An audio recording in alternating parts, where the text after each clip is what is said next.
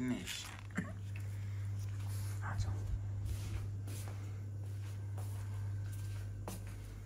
now second piece. Come Izu